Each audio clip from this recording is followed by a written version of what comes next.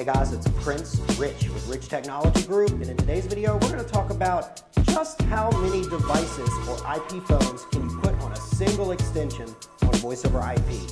But before we get into that, remember, you're watching the number one channel on all things business phone systems and business internet related, so be sure to hit that subscribe button right now so that you don't miss any of our content and so that you get notified when we release new videos, which is every single week. So, how many devices can you connect to a single extension in voice over IP? Depends on the service provider. For example, Vonage allows up to three IP phones, also called devices, as you already heard me mention. Nextiva allows up to five IP phones, and RingCentral allows, I want to say, up to six IP phones. Really, at the end of the day, it depends on the service provider. But the first question begs, why would you want to have multiple devices on a single extension? Some people might want to have it to be able to use a phone or to use multiple phones in one location, like an office or a home office. For example, I used to have, back in the day when I had an office a long time ago, in a previous life, I actually had a Cisco IP phone on my desk in the office, and I had a Linksys IP phone on the desk in my home office. If somebody called one of my, if somebody called my extension or one of my team members transferred an extension to me, it would ring both of those phones. I would also be able to check the voicemail on each or on one or the other phone, no matter where I was, and the voicemail was the same, and so was the voicemail settings, or even the away or the vacation message. Another reason that somebody may want to use it is for ease of mobility. I've worked with plenty of customers that, you know, have a vacation home here, a home office there, a physical office here, and they want to be able to just be able to make calls, receive calls, transfer calls, and have some sense of you know, some sense of like normality across their entire extension, no matter where they are. Another reason that I've seen a lot of people that would use uh, a different device or a different IP phone on the same extension is to test a new IP phone. Couple of examples for you. At the time of this video, I'm actually currently using a Yealink T48S on my extension, but as a second device connected to that extension, I also have a Polycom CCX600, which I'm actually using and testing alongside my Yealink that works perfectly so that I can do a solid review for you guys on my experience with the Polycom CCX600. Second story in that regard on the flip side is I've worked with many IT directors that if they want to try out a new phone with an existing service provider they've got like a Nextiva or a RingCentral or a Vonage or TalkDesk or whatever it may be, they will purchase the new phone that they want to roll out for administration or roll out for the entire office, set that up as a separate device on their extension so that they can test it for a week or a month or whatever it may be so that they know it works well on the network and has all the features they require before they roll it out to everybody else. While at the same time, still having their normal day to day use phone connected to that extension so that they can still take calls, conduct business, and not have any issues or anything like that. Another reason why somebody might actually use another device on, a same, on the same extension is to create sort of a pseudo ring group. You're probably wondering, what am I talking about? I'll explain. Once I actually worked with a doctor's office that had two receptionists. Um, both of them sat at a very large table, so they worked next to each other. Both of them had two separate computers, two separate phones, except the two separate phones were attached to the same extension and they were connected to the option one in the auto attendant that basically said for front desk administration or billing, press one. This way, both of those phones rang at the exact same time, and either or receptionist could decide if he or she wanted to answer those calls. This also means that both of those phones shared the same voicemail and also had the same, you know, voicemail light indicator and things like that.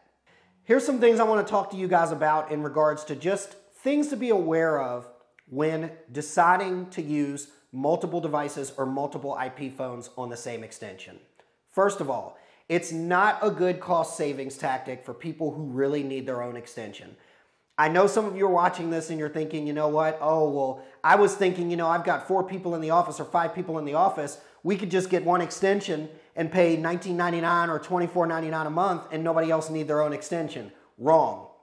While I've seen this done in very rare situations, there are a lot of reasons you would not want to do this. First of all, in a perfect world, everybody needs their own extension number so that calls can be transferred to them so that they can have a dial by name, you know, in the directory and things like that. That is not possible if everyone is sharing the same extension.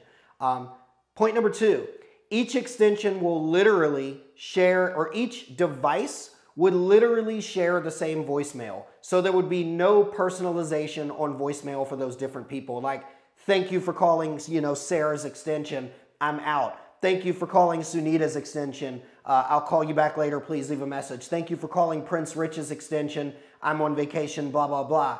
Everybody would be using the same single extension, I mean, the same single voicemail associated with the extension that everybody is kind of co-sharing and it just doesn't work. It makes to be a messy setup and it actually looks a heck of a lot more unprofessional than, you know, in, in trying to save a little bit of money.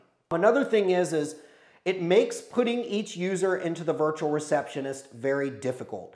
As I already mentioned, dial by name would be out of the window because if you've got five different users using the same extension, you can't classify or divide them so that they have their own separate dial by name to be routed correctly. The other issue that you would have is that you wouldn't be able to set up and route calls to a specific person if a group of people is using the same extension. It would essentially defeat the purpose of a virtual receptionist.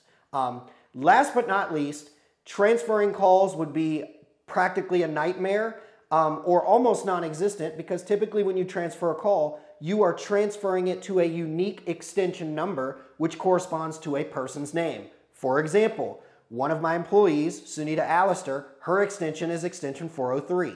My extension is extension 402. If somebody tried to send a, you know, a call to extension 402 that comes to me, 403 goes to her. If her and I are sharing the same extension just to save a buck, it would mean that if somebody transferred a call to my extension number, it's going to ring both of us. And that kind of defeats not only the ability to be able to transfer a call to a specific person for business reasons, but also a little bit of conf- confidentiality is broken there or kind of left lacking for if you're needing to transfer a call or call a specific person for a specific reason that may be confidential or private. Another thing, I know I said the last one was the last point, but actually there's another one, which is actually probably the most important one that I need to mention. One of the things that I want to throw out there is while most service providers will absolutely let you have more than one device on a single extension, some of them have restrictions placed on their service that prevents you from making simultaneous calls on a same on the same extension from multiple devices. What does this mean? Let's go back to the me and Sunita Allister example. Let's say that I'm on the phone and I'm using the same extension as Sunita and she wants to pick up and use the phone. Not all service providers do this, but some do.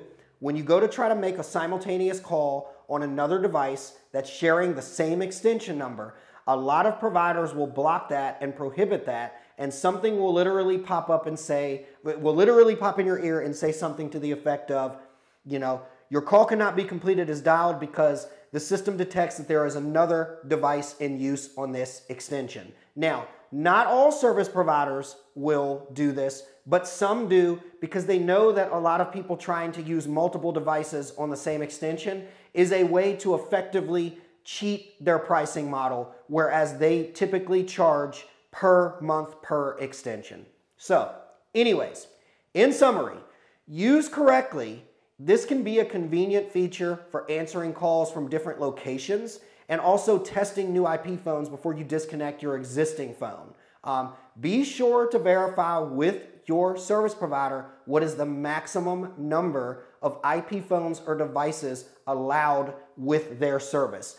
Another thing I wanted to throw out there before we wrap up is mobile app and desktop app is usually not considered one of the you know maximum allowed devices allotment. Even though in their system they consider it a device, the mobile app and the desktop app is classified as like its own separate like virtual devices. So for example, in the example of Vonage, Vonage allows up to three total hardware devices on a single extension plus the mobile and the desktop app. So that's five devices or five slots to connect to your extension with three of them being actual hardware. Anyways, if you found this video interesting or helpful, please go ahead and hit that like button. Also, as I mentioned earlier in the video, hit that subscribe button because we upload new content every single week and you are watching the number one YouTube channel on all things business phone system and business internet, internet related tips, tricks, and just things you need to know about how service works. So hit that subscribe button and show us some love. As always, this is Prince Rich with Rich Technology Group, your go to guy for the best deals on business phone and internet service in the United States. I'll catch you guys again in the next video.